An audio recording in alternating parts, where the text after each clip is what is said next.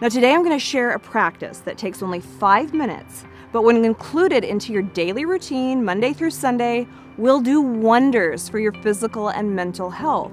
Now, focused breathing has been scientifically proven to decrease high blood pressure and stress levels.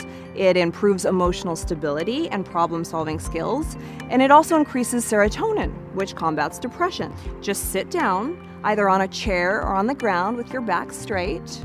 Set your timer for five minutes. Then close your eyes. Concentrate on breathing deeply in through your nose and out through your mouth. Now, make your five minutes happen in the morning and you'll find that you'll be more prepared and focused for the day ahead of you. I'm Divini Rae. Make it a good day.